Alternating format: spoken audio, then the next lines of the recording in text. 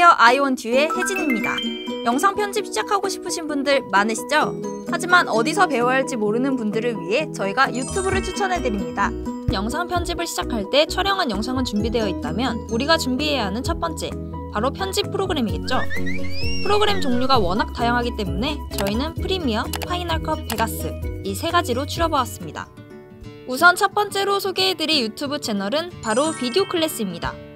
영상 편집을 해보신 분들이라면 이 채널을 모르는 분들이 없을 거란 생각이 드는데요.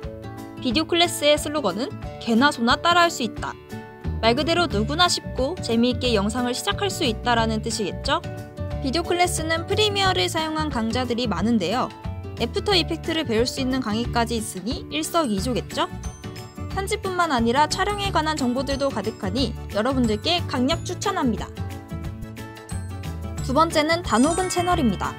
단호근 채널에서 주로 다루는 프로그램은 Final Cut Pro입니다. Final Cut Pro는 애플의 대표적인 영상 편집 프로그램으로서 이 프로그램을 쓰기 위해서 Mac을 구입한다는 말까지 있을 정도로 유명한데요. 단호근 채널은 그 Final Cut의 장점을 자세히 알 수 있는 채널입니다. Final Cut의 이론과 개념부터 색감, 효과, 그리고 Final Cut을 운영하는 방법까지 배울 수 있고 단호근 채널만 보면 어디 가서 Final Cut 좀 다룬다 라고 할 수 있을 것 같네요. 저희 감독님도 즐겨보는 채널이라고 합니다. TMI. 마지막으로 소개해드릴 유튜브는 김나홍 채널입니다. 김나홍 채널에서는 주로 Vegas를 다루고 있는데요. 이 채널은 Vegas를 기초부터 전문적으로 다룰 수 있도록 도와주는 채널입니다. Vegas는 다른 편집 프로그램에 비해서 가볍고 저렴한 가격 덕분에 영상 편집에 입문하시는 분들에게 좋은 프로그램이라는 생각이 드네요.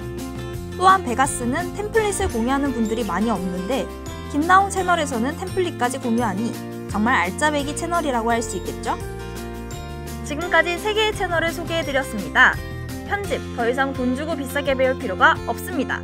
오늘 저희가 알려드린 유튜브 보시고 영상 편집의 고수가 되시길 바랄게요. 지금까지 아이원트의 혜진이었습니다. 감사합니다.